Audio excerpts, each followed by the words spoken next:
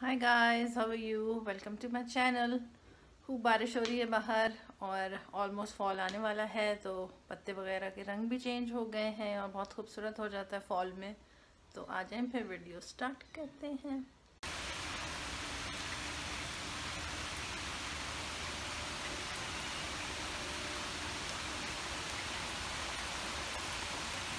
थोड़ी सी बारिश हो गया तो मैं आपको फ्रंट दिखाती हूँ। फ्रंट में काफ़ी लीव्स गिर गए हैं उनसे कलर भी चेंज हो गया अभी पीछे वाले तो ये ग्रीन ही है, मगर मेरे गार्डन में जो है काफ़ी उन्होंने रंग चेंज कर लिया जैसे ये सामने आपको प्लांट नज़र आ रहा है इसमें भी काफ़ी रेडिश का कलर आना शुरू हो गया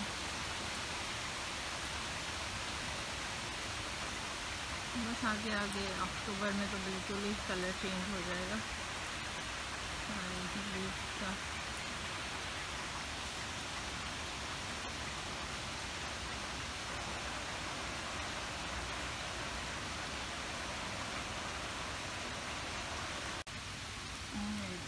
गिर गए हैं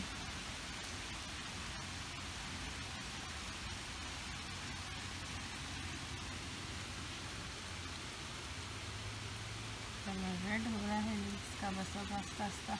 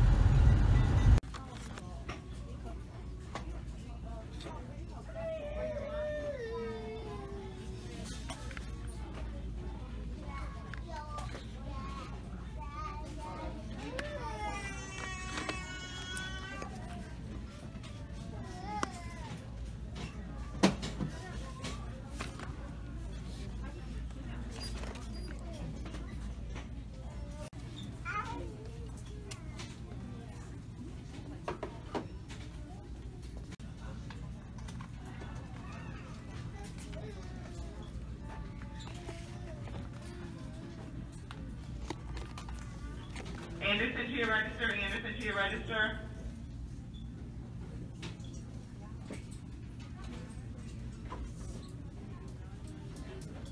Homemade granola bar recipe मैं आपको बताती हूँ। ये मैंने गरनोला मिक्स यूज़ किया है।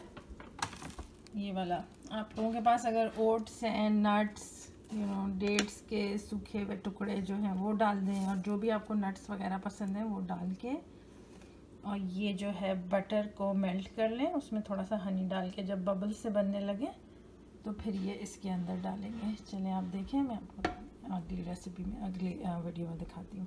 ये सब मिक्सचर बना के इस तरह ट्रे में ऑयल के, इसको मैंने हाथों से प्रेस डाउन कर दिया। अब जब ये थोड़े से हार्डन हो जाएँगे, फिर इसको गरनोला के पीसेस की तरह काट लेंगे।